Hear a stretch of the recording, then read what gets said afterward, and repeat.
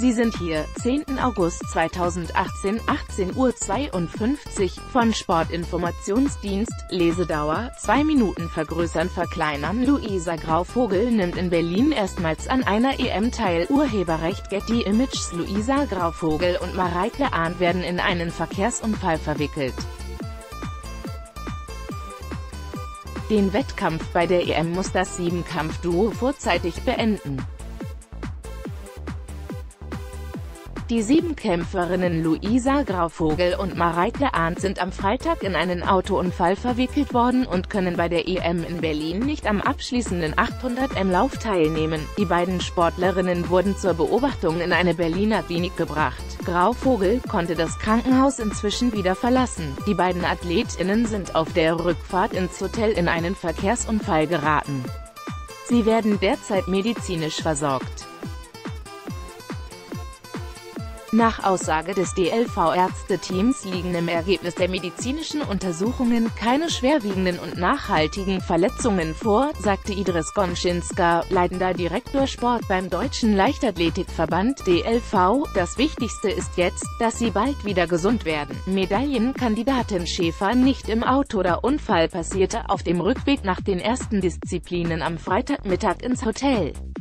Igonschinska erklärte, sei sofort ein Krisenstab im deutschen Team gebildet worden, Verbandsärzte seien den Verletzten ins Krankenhaus gefolgt.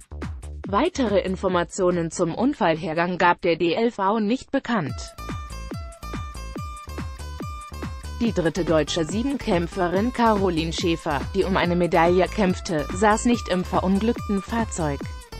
An schlimmer betroffen, Luisa Grauvogel ist zusammen mit den Trainern auf dem Weg zurück ins Mannschaftshotel. Mareike Ahn bleibt im Krankenhaus und wird weiter analysiert und bewacht, sagte Gonczynska am Abend in der ARD. Das ist natürlich traurig, so unmittelbar vor dem 800M-Lauf auf den die sich so gefreut hatten, aber nach der ersten schockierenden Information ist das erst einmal eine entwarnende Nachricht, fügte er hinzu. Nächster Unfall nach Schwanitz Die 21 Jahre alte Grauvogel, Saarbrücken, lag bei ihrer ersten EM-Teilnahme nach sechs Disziplinen auf dem siebten Rang.